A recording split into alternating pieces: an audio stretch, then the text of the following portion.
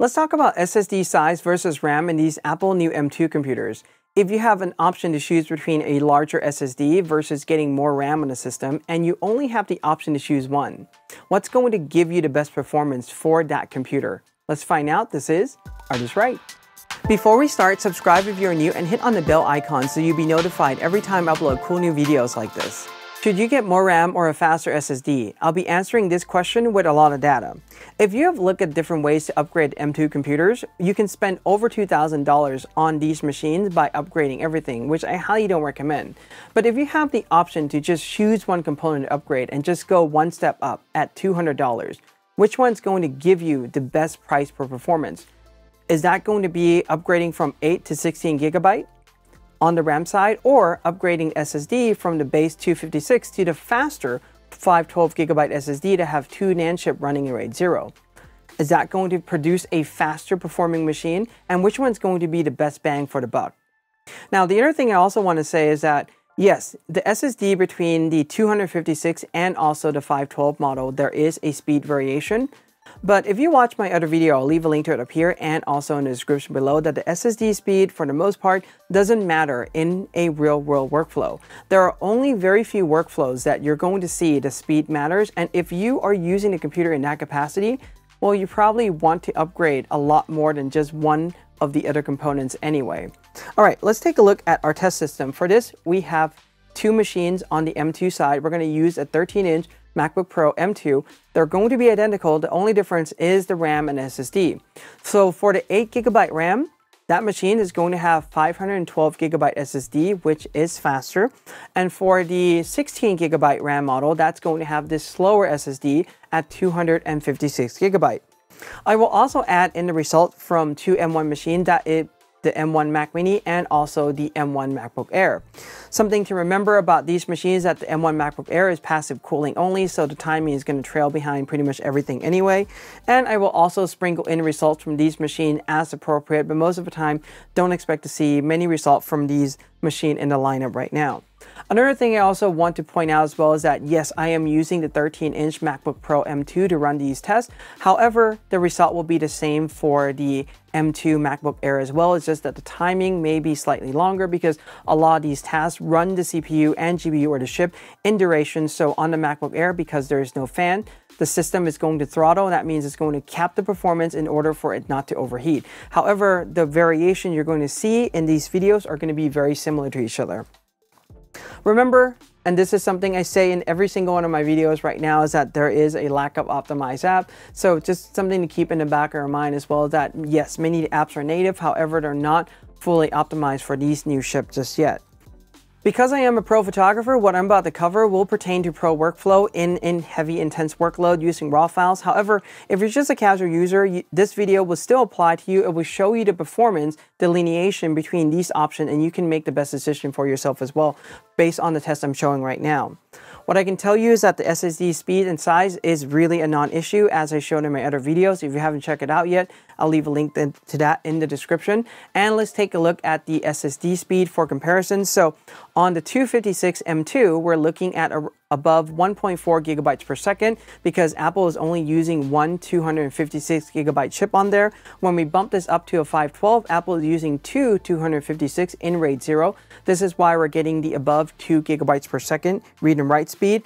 And this is pretty much a similar story with the base MacBook Air. 256, Apple is using two 128 chip in RAID 0. That's why we're getting the higher write performance speed. But this is literally just only part of the equation and it really doesn't matter much at all as I've showed in the other video. Here's a speed comparison for the SSD for both write and read and I have also included a result from the Mac Mini M1 as well. You can compare that. And here is the speed for all the other computers with the M1 Pro, M1 Max, and also M1 Ultra, so you can get an idea. On these more Pro machines, you can configure them up to 8 gigabytes of SSD, and with those higher memory configuration, you can get up to 7.8 gigabytes per second. Let alone, there are no apps in the real world today that can really go in and phantom that kind of SSD speed at the moment, but sure, why not? Let's have the fastest SSD possible. Simply put, these computers are light years ahead of the software that we have available on the market today. And if you want to know how fast of an SSD you should get, how much you should spend on an SSD, and here's a hint, you don't need to get the fastest SSD available on the market to use in your pro workflow.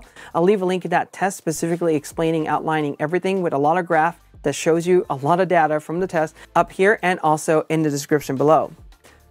Remember that the components inside these machines are non-upgradable, so think about your future need. If you are going to store a lot of data, if you're going to accumulate a lot of data, you're not using cloud storage, or even if you're using cloud storage, you may want to consider getting a larger SSD. If you use a lot of programs that are system resource intensive, RAM intensive, for example, Chrome, Safari, opening a lot of tabs, multitasking with multiple different programs, you may want to consider getting more RAM in the system so that your system down the road can run smoother. And if you're planning to keep your system longer, it may not be a bad idea to go in and upgrade these components anyway. Now let's see the comparison for Lightroom Classic. Everything has been retested using version 11.4.1 running on macOS 12.4. Something to note is that Adobe have gone in and enabled GPU acceleration for image exporting, which reduces the time significantly on export. They have enabled this on majority of machines, however, on the M1 and M2 chip with 8GB and also selective Intel machines, even the Pro one, this is not enabled by default. I have a link to a video up here and also in the description below that I walk you through how to manually enable graphic acceleration. This way you can get the most performance out of your machine. So now let's have a look at the one-to-one -one preview for 1000 Nikon D850 file. This is really showing us a clear result that the 16 gigabyte model is pretty much coming up ahead by close to four minutes. You can see the graph right there. This is pretty much telling you exactly everything that you need to know. If you're finding the best way to upgrade your machine and you only have to pick one thing, I would definitely pick the RAM. There are maybe some situations where a larger SSD may help, but we're gonna find that out soon. Here it is comparing with the rest of the machine, for example, the M1 Mac Mini and also the M1 MacBook Air. Let's take a look at export for 1000 files, those same 1000 files, and we can see the time improve by close to around 8 minutes on this task alone. Getting 16 gigabyte makes the huge difference in the world, even though yes, the 256 gigabyte SSD is slower, but the faster SSD, what you're seeing right now, doesn't really matter much. And everything else is the same. Both of these machines still have 10 GPUs. So you can see that when you give Lightroom more RAM to really play with, it really just shines. Here it is comparing with the other machine. A couple things to really look at here that I find very interesting is that the Mac Mini M1 is holding its own just fine at the very top right there. So yeah, it has a fast SSD on the inside and also has 16 gigabytes of memory. But just something to think about too is that Lightroom Classic has been optimized for M1. Maybe not fully, but it is optimized for M1 chip at this point. However, it's not really optimized for M2 just yet because it is really new. Now we'll probably see this graph improve once Adobe have gone in to optimize the program. But you can see a clear difference between 16 gigabyte versus 8 gigabyte right there. And also we have the MacBook Air that only has 7 GPU, passive cooling, and also 8 gigabytes of memory falling pretty much behind just right there. What about Lightroom Classic Panorama Merge? This is taking 14 Nikon D810 file that are 36 megapixel, combining it to create a 314 megapixel DNG. Let's take a look. Well, this task clearly shows that having more RAM, having double the RAM here, going from 8 to 16, is reducing the time by more than half to finish this task. Taking a look at this with all the other machines in the lineup, the Mac Mini M1 again is holding its own just fine right there. And one thing I'll say right now is that the Mac Mini M1, there are many refurbished coming out on the market now from directly from Apple. You can get that, or there are used machines on the market that you might want to consider that are really amazing performer. Granted, yes, it is a desktop machine, but if you're okay just getting a desktop, I mean, it's really a great value machine for the price. Let's take a look at Lightroom. This is using Lightroom 5.4 on macOS 12.4. And the result for this is pretty much just head to head with only about eight seconds apart. This is pretty much what I would call in the margin of error. Nothing is really fast or anything like that. And this is because this Lightroom is still using the old export engine from Adobe. Once I've gone, gone in and used the same engine as Lightroom Classic, we're probably going to see timing very similar to Lightroom Classic as well. The 16 gigabyte will still come out at the very top compared to the 512. And also, Mac Mini M1 sits at the very top still. So yes, we're looping in a lot of Mac Mini M1, but that's a really great machine performance-wise. Now let's look at Capture One comparison running version 15.3 on macOS 12.4. For import, generating 5120 pixels preview for 1000 Nikon D850 45 megapixel RAW file, we get the 512 gigabyte model that is coming in at around 14 seconds faster than the 16 gigabyte model. So the 512 one has 8 gigabytes of memory. I would say that this 14 seconds is still within the margin of error and I wouldn't necessarily say that the 512 gigabyte model is faster. However, if this number starts to show a variation of about a minute or maybe two minutes or so, then I would probably say that yes, it is faster, but this is a very selective task within Capture One. A few things to remember too is that Capture One is not anywhere near optimized on the M1, let alone the M2, so that's the result you're seeing right now. The only reason why the M2 is sitting at the top and performing slightly faster than the current M1 right now is because of the architecture improvement that Apple has introduced with the M2 chip. So Capture One can go in and leverage that a little bit, but just pretty much on raw power and not so much on optimization. When it comes to export, both of these machines have the same amount of GPU and they have 10. And what we can see right now is that the 16 gigabyte model is coming slightly ahead uh, than the 8 gigabyte model right now. It's not by much, and I would still say that this is within the margin of error, but then Capture One doesn't really go in and utilize the RAM resource as much on both import and export anyway. So we're not really seeing that delineation between SSD speed and RAM usage in this situation. Here it is comparing with the rest of the lineup and yes the M2 is performing much better than M1 so if you use Capture One and you just want a quick capture on location machine M2 may be something that you want to consider. Now let's have a look at Photoshop test result. For this I'm using Diglloyd Test. I will put a link to his website and also these tests in the description below. I'm running three of his tests, speed, medium, and huge. You can kind of read the description there or pause this video. But let's take a look at the Photoshop speed. So what we can see right now is that on the 16 gigabyte model, it is performing faster at 70% memory. And we can see that when we bump this up to 90% RAM, it is running slightly slower on the 16 gigabyte model, but not by much. We're talking about hundreds of milliseconds here. So I wouldn't even worry about this too much at all. But we can see clearly that the 16 gigabyte model is actually doing much better in this task. And also this task is just really running it based on speed and machine. So you're not going to see too much of a variation in performance. Here it is comparing with the M1 in the lineup and the Mac Mini M1 is doing respectively well in these tests.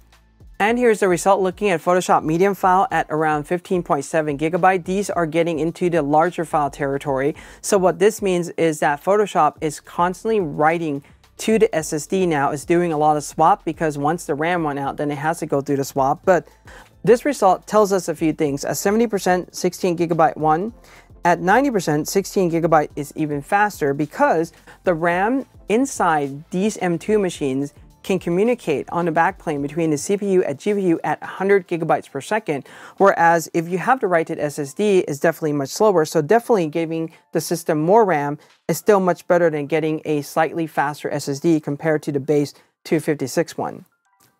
Here it is when we add the M1 machine into the lineup, for example, the M1 Mac Mini and also the M1 MacBook Air. Interestingly enough, the M1 Mac Mini at 70% is at the very top, and it's coming in really close by when we bump the RAM up to 90%. Now let's look at Photoshop Huge at 56 gigabyte. There are very few people that use this and if you are one of those individuals, chances are you're probably configuring a machine with a lot of power because this is a lot of waiting time. But we can see that when it comes to this huge large file size, 56 gigabyte, that getting a machine that has a larger, faster SSD is of a benefit right now. So we can see that this is the only twist in this test that we see right now. So obviously, if you're using these computers for just daily tasks for Lightroom, Capture One, Lightroom Classic, and majority of Photoshop tasks, you're not going to be working on a file this large. I would definitely consider getting more RAM in the system rather than getting a larger SSD because this is a really rare case scenario. Adding the two M1 into the lineup, this is how the performance compared to the M1 right now. Now let's look at Final Cut Pro. So for this, there is an encoder decoder engine which doesn't do much for H.264 and also HEVC. We can see that between these two machines, H.264 is pretty much exactly the same because it's going into the encoder engine. When we compare this to the rest of the lineup, they're only a few seconds apart. This is considered to be within the margin of error. Same thing with the HEVC export, five seconds faster, not really that big of a difference at all. This is in margin of error. And when we add the M1 into the lineup, Again, they're only a few seconds apart, so I would say that these are performing just about the same. When we do ProRes 422, however, the 16 gigabyte model is performing that much faster because ProRes 422 does a lot of reading and writing. For example, this is a 10 minute 4K 8-bit 420 clip from a Panasonic S1 export to 4K.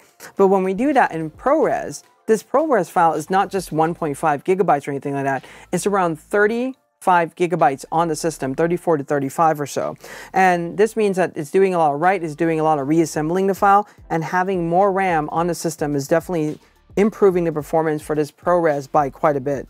When we compare this to the rest of the lineup, you can see that when we bump this up to 16 gigabyte, the ProRes performance significantly dropped and is also faster than the M1. So obviously the encoder decoder engine is really doing its job very well on ProRes and giving it more RAM is definitely a benefit. But again, if you're doing these type of large files encoding on these machines, the base model may not necessarily be the one that you want to look at to start out with, even if you're working in a road, because I know many video pros and their goal is not so much to spend time waiting for the machine to export, it's to get the work out as fast as possible on the encoding side of things. So let's answer the question, more RAM or faster SSD? I would say that 99.9% of the time, definitely bump up the RAM because if you take a look at the pricing comparison right now, they're both $200, but you get a significant performance improvement on the 16 gigabyte upgrade compared to the 512 gigabyte SSD. You've seen in all the charts and you can see now why I'm recommending that you go in and upgrade to 16 gigabyte SSD instead. A couple things to note is that the SSD size versus speed is that it really doesn't matter. You don't have to think about that at all, as I've showed in the other video. But you can also see here as well that the SSD speed between these two, there's not that much of a variation. The variation that you're seeing right now is on the RAM side, and the RAM that's with the computer with a slower SSD to 256 is pretty much beating out the one with the faster SSD consistently in most of these tests. And I would say like 90 something percent of the tests. So that's really awesome. Now the other thing to consider is that when you get more system, you're going to get more gain out of the performance of the machine for about the same price point. Anyway, I hope that you find this comparison helpful and it helped guide your decision on choosing which upgrade to do in these new M2 chip. If you have any questions or comments, leave them below, give this a like, subscribe and hit the bell you're new, and in art we trust.